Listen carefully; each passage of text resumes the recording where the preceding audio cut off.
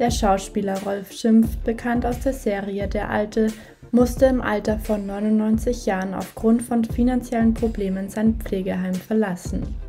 Diese Nachricht hat schockiert. Auch seine Kollegin Jutta Kammann zeigt sich betroffen und bestürzt. Zitat ich bin zutiefst schockiert, wie vor den Kopf gestoßen. Ich fasse es gar nicht. Rolf wollte hier nie weg. So kam man gegenüber Bild.de.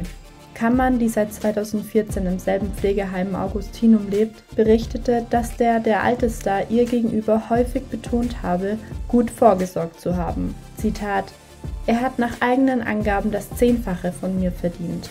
Allein schon durch den langen Zeitraum und ich kann mir das Augustinum gut leisten. Rolf hat bis zu seinem 82. Lebensjahr täglich vor der Kamera gestanden. Wo ist also all sein Geld? Ich mache mir da schon so meine Gedanken. Die monatlichen Kosten von 5700 Euro für das Pflegeheim konnte er dennoch nicht mehr aufbringen. Trotz seiner Demenzerkrankung und Pflegebedürftigkeit hatte Rolf Schimpf im Augustinum ein Zuhause gefunden, das er nun verlassen musste. Seit zwei Wochen lebt er in einem neuen Pflegeheim am Stadtrat von München.